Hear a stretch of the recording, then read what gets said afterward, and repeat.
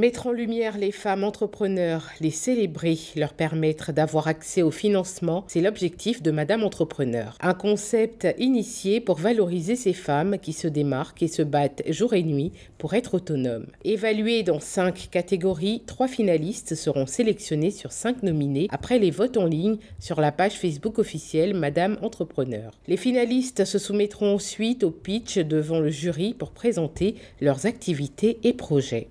Madame Entrepreneur aimerait pouvoir se vanter d'avoir permis à ces femmes-là d'avoir accès au financement. Et c'est notre fierté au bout de tout ça, c'est le financement que nous aidons ces femmes à avoir avec notre partenaire euh, Finel. Pour ce qui concerne les, conditions de, crédit, on va dire que les crédits sont faits à des taux préférentiels. Là, nous sommes à 16% dégressifs et nous avons quelques allègements en termes de documents à fournir. Et aussi, nous rajoutons à cette offre-là une offre de formation pour justement permettre euh, à nos euh, lauréates d'être euh, aguerris en termes de gestion financière.